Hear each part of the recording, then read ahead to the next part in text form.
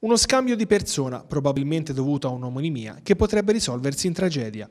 Alle 9 e un quarto di questa mattina, in prossimità dell'ingresso del nuovo ospedale della Murgia ad Altamura, un'auto di colore scuro con due uomini a bordo si è avvicinata a un uomo con il braccio ingessato che si stava recando nella struttura per un controllo e ha esploso un colpo diretto verso il torace di quest'ultimo. Secondo la ricostruzione dei carabinieri di Altamura intervenuti sul posto, i due uomini avrebbero chiesto alla vittima, un carpentiere altamurano di 56 anni, il suo nome. L'uomo non avrebbe fatto in tempo a dichiarare che non era la persona che stavano cercando, che uno dei due ha aperto il fuoco ferendola gravemente con una pistola calibro 45. Pochi secondi dopo i due sicari si sono dati alla fuga. Le indagini dei carabinieri sono tuttora in corso, mentre l'uomo è stato ricoverato nella stessa struttura dove è stato sottoposto a un'operazione urgente.